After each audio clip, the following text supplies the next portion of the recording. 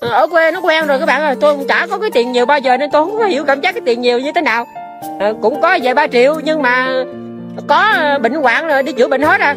Chứ ước mơ năm mười triệu không có. Chưa chưa có tiền năm mười triệu bao giờ.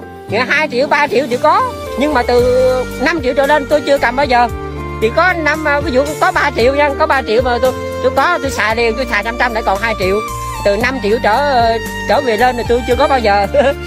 Các bạn, nhiều khi cũng bình thường các bạn ơi.